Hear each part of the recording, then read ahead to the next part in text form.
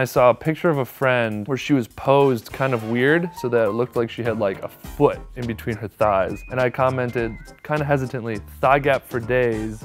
And then I got a bunch of likes. So I was like, okay, I think I understand what this trend is.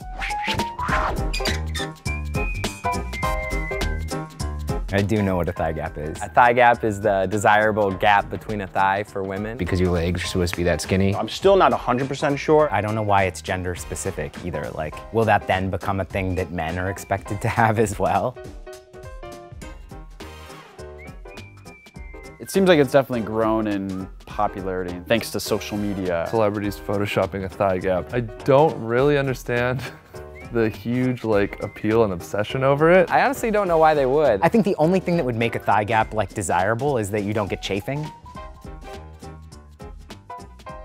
Oh man. I don't, I don't, That's a good question. I don't think I've ever really looked for that. If I had to tabulate how many of my ex-girlfriends had thigh gaps, I'd have no idea. You know, I'm imagining all, all the women that I've had a privilege of seeing naked, I can't call to mind a single thigh gap. I don't know. I actually, yeah, I've never, I, I would have to go back and check.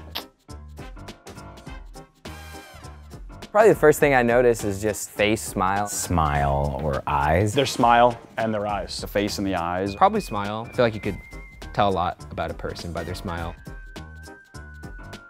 The thigh gap is not something that's like a make or break. Usually I'm looking for what is there and not what is not there. Do you know what I mean? Is it like right when you're about to have sex, you, a guy's gonna be like, oh wait, there's no thigh gap there, never mind. No guy will ever say that. You're beautiful whether your thighs are touching or not. It just seems like it's gotten a lot, a lot more attention than it probably deserves. It's like, I'm thinking if you put duct tape here, and then you pulled it around and really like pulled it and like attached it here, I guess you could form a thigh gap that way, an artificial thigh gap.